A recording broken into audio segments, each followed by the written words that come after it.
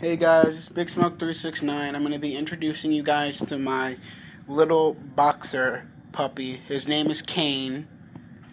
K A N E. Kane. K A N E. and he's sleeping right now, so he might. He looks like he's about to wake up, but he's sleeping right now, and he will snore sometimes. His snoring is his snoring is very loud. So anyway, introducing Kane. You might be able to hear him snoring a bit. Yeah, you guys might, because I can hear him. You hear him? It's him snoring.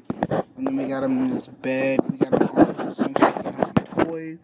We got him some toys. We got him a squeaky dog.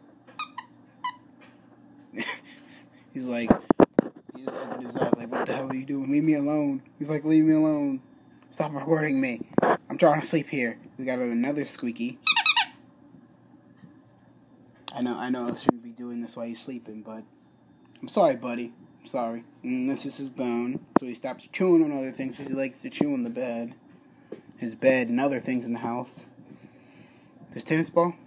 It's just a tennis ball. We found the tennis ball in the house and said, you know what? Give it to him. And he plays with this tennis ball a lot.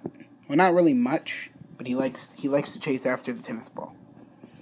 And then, last but not least, we got his tug a rope, tug a rope, tug a rope, tug a rope, tug a rope, tug a rope, Just tug a rope. So yeah, guys, just wanted to introduce you to Kane, and goodbye.